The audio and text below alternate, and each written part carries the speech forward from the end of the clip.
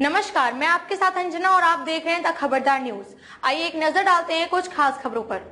नशे की दवा खिलाकर डॉक्टर ने किया रेप, दांत में दर्द का इलाज करने के बहाने क्लिनिक में ले जाकर किया दुष्कर्म।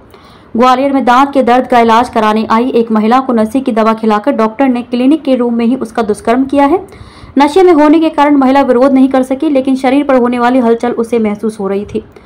घटना आदित्यपुरम महाराजपुरा में दो दिन पहले की है। महिला ने घटना के बाद महाराजपुरा थाना पहुंचकर शिकायत की है, जिस पर पुलिस ने डॉक्टर के खिलाफ मामला दर्ज कर लिया है। अभी डॉक्टर नहीं पकड़ा गया है। शहर के गोला का मंदिर स्थित पटरी रोड निवासी तेईस वर्षीय महिला ने शिकायत की है कि वह मूल रूप से उत्तर प्रदेश की रहने वाली है। यहाँ वह जॉब के लिए आई थी और अभी वह अपने लिए नौकरी तलाश रही थी। पिछले कुछ सप्ताह से उसके दांत में दर्द हो रहा था, जिस पर वह दांत के दर्द का इलाज कराने के लिए आदित्यपुरम स्थित डॉक्टर प्रतीक नायक के क्लिनिक पर गई थी। डॉक्टर ने दांत देखने के बाद उसे निकालने की सलाह दी तो वह दांत निकलवाने के लिए तैयार हो गई। दांत निकालने के कहकर डॉक्टर ने उसे चार टैबलेट दी, जो उसने खा ली।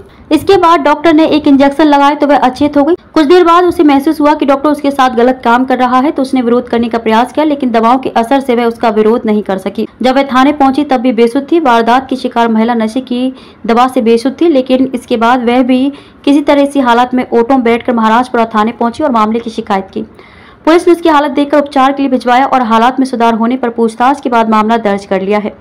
आरोपी डॉक्टर फरार। वारदात के बाद पुलिस ने आरोपी की तलाश में दबिश दी, लेकिन क्लिनिक पर ताला लगा मिला। अब पुलिस डॉक्टर की जानकारी जुटाकर उसे दबोचने के लिए जुट गई है। फ़िलहाल वह पुलिस के हाथ नहीं आया है। पुलिस का कहना, इस मामले में टीआई महाराजपुरा आलोक सिंह भदौरिया का कहना है कि महिला की शिकायत पर डॉक्टर के खिलाफ दुष्कर्म सहित अन्य धाराओं में मामला दर्ज कर लिया गया है। डॉक्टर की तलाश की जा रही है।